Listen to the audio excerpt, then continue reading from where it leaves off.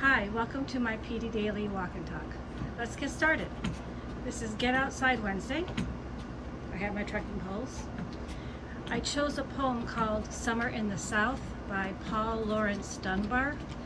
He was born, I believe, in 1872, a son of former slaves, and this is his poem. So repeat after me if you want to work on your speech ability, otherwise just enjoy. Here we go. The oriole sings in the greening grove. Your turn.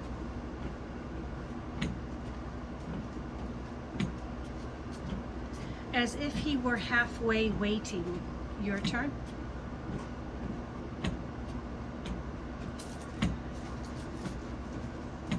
The rosebuds peep from their hoods of green.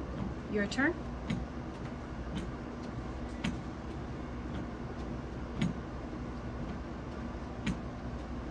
Timid and hesitating.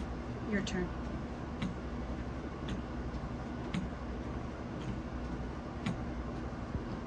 The rain comes down in a torrent sweep. Your turn.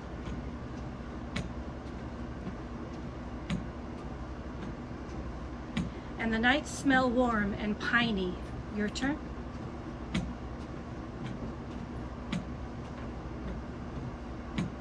The garden thrives, but the tender shoots. Your turn.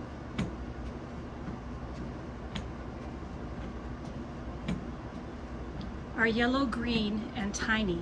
Your turn.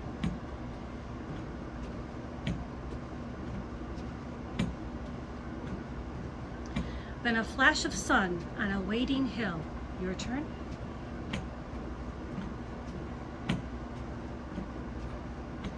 Streams laugh that erst were quiet. Your turn.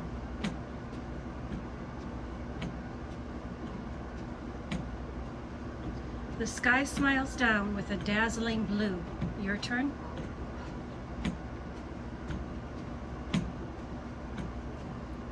And the woods run mad with riot. Your turn.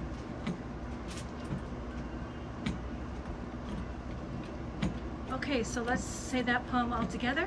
Are you ready? Here we go. Summer in the South by Paul Laurence Dunbar. The oriole sings in the greening grove as if he were halfway waiting. The rosebuds peep from their hoods of green, timid and hesitating. The rain comes down in a torrent sweep, and the nights smell warm and piney. The garden thrives, but the tender shoots are yellow-green and tiny. Then a flash of sun on a waiting hill, streams laugh that erst were quiet.